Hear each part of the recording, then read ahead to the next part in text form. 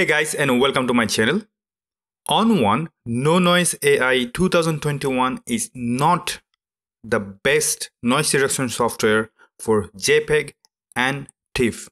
You want proof? You have your answer. There you go. I'm going to get into the details and I'm going to compare it side by side with a photo I have reduced noise from an actual raw file and this photo in this what you're looking at right now it's a TIFF that I have converted with Photoshop. So that means that the demosaic engine is pretty good I believe. And of course uh, the quality and information is everything there. So this is a very important tutorial and you should know this kind of defects before you want to buy this software because most of the time you're probably not going to work on raw you're probably going to work on jpeg and tiff 2 especially when you're using it as a plugin in photoshop and affinity photo it is important to note that you will be not working on raw. You'll be working on psd file or 16-bit tiff and this is where the difference comes in play. And before I show you the comparison side by side, please do like and subscribe my channel. It helps me a lot so that I can pay off my mortgages. Now, let's jump into the tutorial. Now, lucky for you, I already made an export and in my previous video, I already showed you the result from the raw comparison so this video, I'm going to show you the comparison done in TIFF. So I'm going to close it. And now I'm opening SilkyPix Developer Studio Pro to use its function to compare side by side. Now, before I compare side by side, I'm going to show you the actual result. So I'm going to close all the windows so that I have extra room. You have two photo. One is the actual raw, which is I'm going to show you and zoom in about 100% so that you can see the mess. So there you go. Let me go into 100% and then there you go. You can actually see the mess there. This is pretty messy um, image. And same with the TIFF. The important reason why you should look at the TIFF too, of course, because, you know, there I want to make it clear that there is no bias. Now, here are all my results. So I'm going to close this window too. So you have the original but TIFF.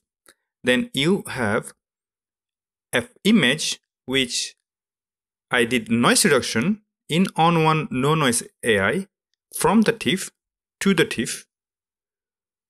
And this is a screenshot side by side. And this one, the last one, is done noise reduction on a raw file to TIFF. So what I'm going to do I'm going to open this photo in a big screen. Open the side screen so that you, you have all the same photos. Now I'm going to go to the last one. And now you have two images side by side. Now to be clear, this one on your left hand side, that's a noise reduction done from raw. And on your right hand side, the noise reduction done from TIFF. So is it going to change anything? Let's find out in 3, 2, 1, and you have your answer. Clearly, the noise reduction done from the TIFF, from the raw, my apologies, has way better detail than the one done from TIFF. Let's show you the edges, you know, of course, the important part. So keep an eye on three different elements shadow or the dark area or blur area, the edge, and the drops. Now, shadow area looks pretty awesome. So both of them has similar type of result. If you look at the edges of the leaf, uh, the one from the TIFF on the right does not have any details at all. It rather look a little bit blurred. The water drops, that's another example, a good one for that matter, has extremely awesome detail and sharpness on the left hand side from the one done from the raw. where the TIFF convers conversion has no detail at all. Another important element is the green. So look at the green surface. So the one on the right hand side, that's done from the TIFF, the noise reduction. It looks just awful, really awful. And I'm zooming it for 100% for two reasons. Of course, that's the ideal thing to do. And I'm imagining that you are looking at from your phone or from a tab even this laptop screen and none of them has you know better resolution let me explain why because youtube is going to compress the video even more i'm recording this video at the highest resolution possible but youtube is going to compress it even more. So it's my responsibility to zoom in at as much as i can so that you can understand exactly what's going on. In fact i'm going to zoom in about 200% so that you can get even extremely better idea. But it, let's face it in real life no one looks at the photo at 200% that just doesn't happen. So this is just because i'm imagining that you will be looking at computer screen and internet compresses everything photo and video anyway now you have even extreme look now you can easily can say that the one on the right hand side looks a lot blurred, lack of detail, where even at 200% the water drop on the left hand side has better detail.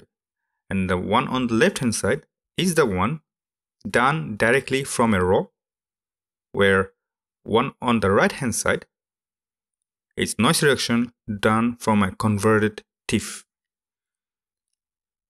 I mean, bottom line is ON1 No Noise AI is a fantastic new software works perfectly for RAW where it doesn't do a good job for TIFF or JPEG. So it's a very important information if you're willing to use that software as a plugin because plugin usually, typically, you don't use the RAW. It converts in PSD TIFF, or JPEG. JPEG is rare, but most likely TIFF or PSD. So that's my verdict. And the next video coming up, which I'm going to compare the exact same result with the Topaz. So you'll be watching a video side by side. Same photo, TIFF noise selected in ON1 no noise AI, which is the right hand side here. And I'll be using exact same photo in Topaz Denoise AI to show you exactly which one gives a better result. So stay tuned, please subscribe, and I see you in the very next video. Bye bye.